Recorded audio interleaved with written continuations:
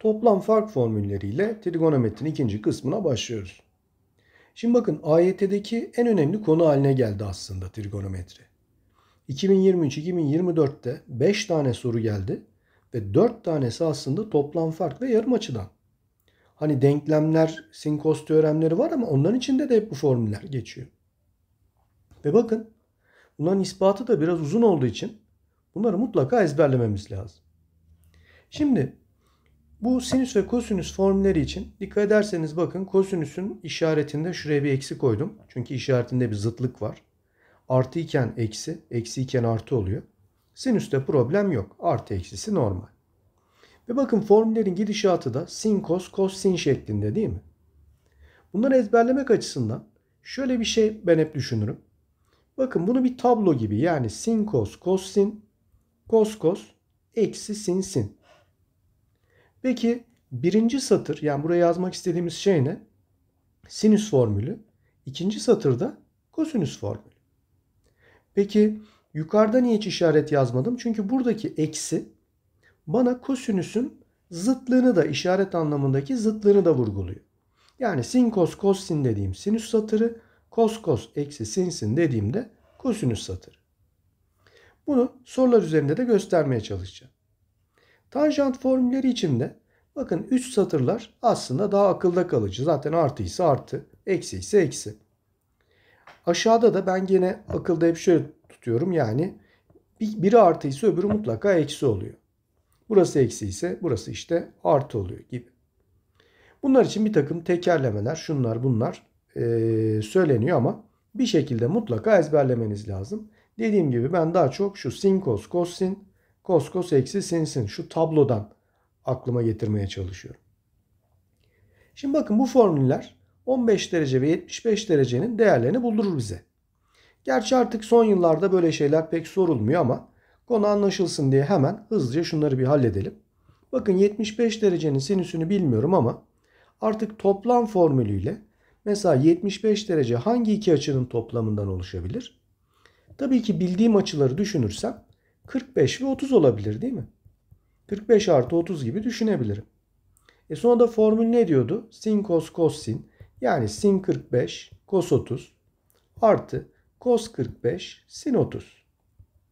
İşte böylece artık sin 75 derecenin de cevabını bulmuş olduk.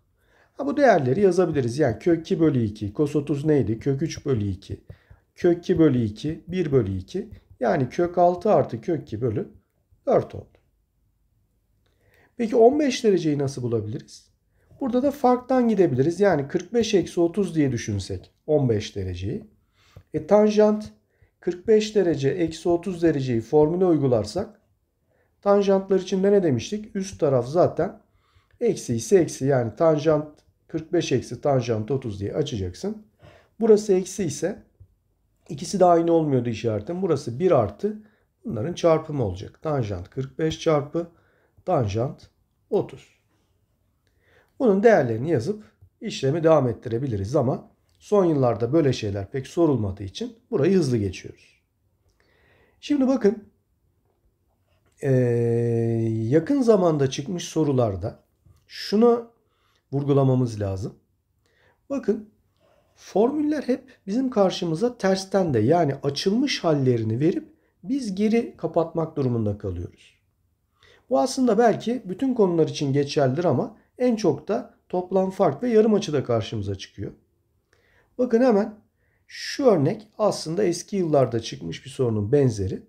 İşte bunlar da hata yapmamak için mutlaka sin cos cos sin cos cos eksi sin sin tablosu bir aklımızda olacak. Bakıyorum bu tabloya uyuyor mu? Yani sin cos cos sin. E tamam zaten sisteme uygun. Bu sinüs satırı. Ve sinüste de işaret anlamında da bir sıkıntı yoktu. Yani bu sinüs 20 artı 50'nin açılmış hali. Yani sin 70 üst taraf. Peki alt taraf cos cos sin sin. Tamam burada da bir sıkıntı yok. Sadece cos cos sin sin satırında yani kosinüs formülünde işaretler tersti. Yani arası artı olmasına rağmen eksi olacak demiştik. O zaman bu da kosinüs 40 eksi 20'nin açılmış hali. Yani aşağısı da kosinüs 20'ymiş. Haliyle e, buradan sonra da cevap ne olur? 1 olur. Çünkü e, toplamları 90 olduğu zaman sinler koslara eşitti. Sin 70 zaten kos 20'ye eşit. Peki burada dikkat etmemiz gereken bir şey var mı?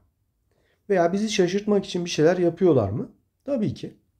Bakın şimdi şu örnekler bence çok önemli. Soruya bakalım. Cos sin sin cos gibi bir gidişat var. Burada bakın şöyle bir hata yapmayacağız. Ha, sin cos cos sin demek ki bu sinüs formülü.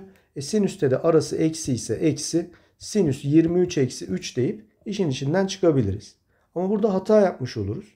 Çünkü bakın hangi açı x hangi açı y onlar karışır. Senin mutlaka şu sıraya uygun mu diye oraya uydurman lazım.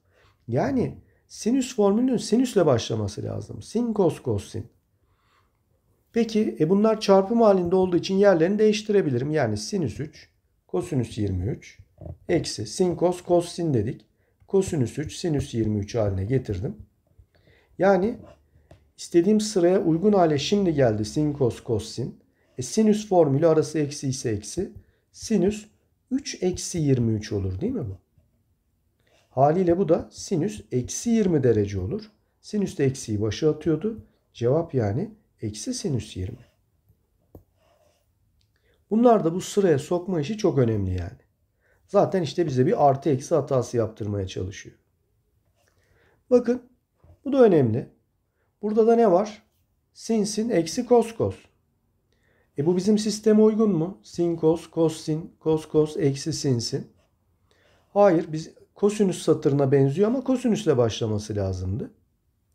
O zaman bunu da yer değişikliğiyle de bir şey yapamam. Ancak eksi parantezini alırsam kosinüsleri de başta yazayım ki şu sisteme uygun hale gelsin. Kos 13, kos 17 eksi sin 13, sin 17. Böyle işlemlerde zorlananlar eksi parantezini alınca bir kontrol etsin. Eksiyi dağıtırsak yukarıdaki ifadenin aynısı çıktığını görüyoruz. Ve şu parantezin içinde ne oldu? Kos kos eksi sin sin.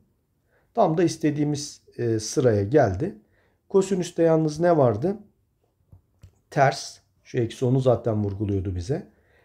Kosinüs 13 artı 17'den yani kosinüs 30 derece oldu ama tabii ki başındaki eksiği de unutmuyoruz. Yani cevap eksi kosinüs 30'muş. Peki.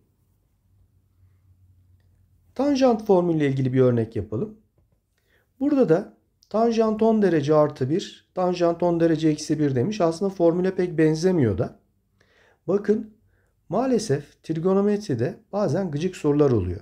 Mesela bir soruda atıyorum kök 3 görüyorsun. O kök 3 yerine tanjant 60 yazman gerekebiliyor. Veya 1 görüyorsun işte burada olduğu gibi. 1 yerine de tanjant 45 yazman gerekebiliyor.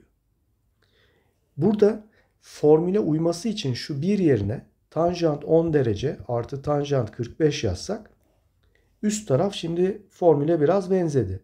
Ama böyle ise alt tarafında ne olması lazım? Burası artıysa burası eksi olacak. 1 eksi diye başlaması lazım. Şurası ters yani. E o zaman eksi parantezini alsam 1 eksi tanjant 10 desem şu an uydu ama bir de burada ne olması lazım? Çarpı tanjant 45 olması lazım. E tanjant 45 de 1 olduğu için buraya çarpım halinde var gibi düşünmemizin hiçbir mahsuru yok. O zaman bu ifade formüle uysun diye bu şekilde de yazılabilir değil mi? Bununla bu aynı şey. E o zaman şu eksi haricinde olan kısım neyin açılmış hali oldu? Tanjant a artı tanjant b bölü 1 eksi tan a çarpı tan b olduğu için tanjant 10 artı 45'in açılmış hali oldu. Da bir tane eksi arttığı için o duruyor. Yani cevap eksi tanjant 55 derece oldu.